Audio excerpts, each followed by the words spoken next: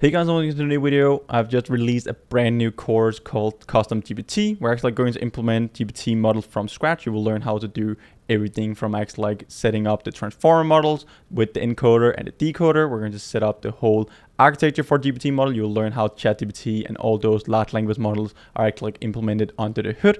Then we're actually like going to have our data sets as well. First of all, in the introduction, we're going to go through the theory, but also just like how these transformers work under the hood, the theory behind the transformers, and also the history behind the GPT models.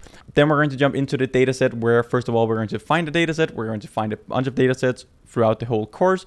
We're basically going to take a text data set, like for example, lyrics from an artist, screenplays, or something like that, an arbitrary text file. And then we're basically just going to take that data set, we're going to train our own custom GPT model. So I'm going to call it a tiny GPT model. And then we're basically just going to take our data set, train our GPT model, and then generate new output. So in the end of the course, we're actually going to generate new songs from Drake based on all the lyrics from him that we have trained our tiny GPT model on. So this is actually like pretty awesome. When we have done the data set, we're going to do the tokenization implementation so we can actually like train our custom GPT model on our data.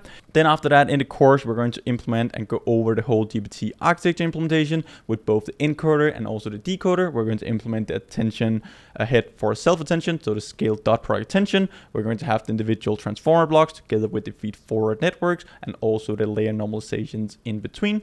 Then we have the transformer blocks. We're going to combine them into the encoder and also the decoder. And then the decoder can actually like go in and generate new data based on the previous input. So the idea behind these GPT models that we're going to implement, it will be on a low level. So all of you guys can follow through step by step. We're going to do the whole custom implementation in PyTorch and Python. So the idea is that we actually just want to throw in an input sequence and that will be on a character level in this course. So we're going to take one character, we're going to train our GPT model to predict the next character with probabilistic prediction.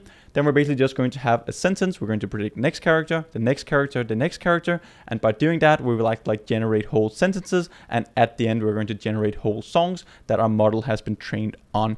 Then when we have our GPT models and our transformer set up, we're going to combine all of that into our tiny GPT model. We're going to train it. We're going to set up a loss function, optimizer, and so on. We're going to create the train loop from scratch and also how we can generate the new text. After we train a model, we will actually like build a web application in Streamlit where we actually like just combine all of it. We're going to have Streamlit as a web application. You can upload an arbitrary text file, which is our data set. Then we can hit train. We will train our GPT model, our tiny GPT model directly in our web application. Then we can have a track bar, which basically just shows when our model is done training. After it's done training, we're going to have a button where we can just hit generate text and it will do the exact same thing as ChatGPT, where we're basically just going to throw in something and then it's going to generate new data based on the model that it has trained on. So just as ChatGPT, as you see with ChatGPT, we just get the text as an output after we have given it a prompt or a question. You can basically just take whatever text data set you can find, throw it into the model, train it, create some cool applications around it, and then you will know how these ChatGPT and large language models work under the hood and how we can build an application around that. So this course here will teach you a ton. I really hope to see you guys in there. It is really good to understand like all these intermediate steps of how these ChatGPT models work, but also just how Transformer work under the hood. But the most important thing, we're going to implement everything from scratch so you guys can follow through step by step. I hope to see you guys in there or else I'll see you in one of the other videos here on my YouTube channel. Bye for now.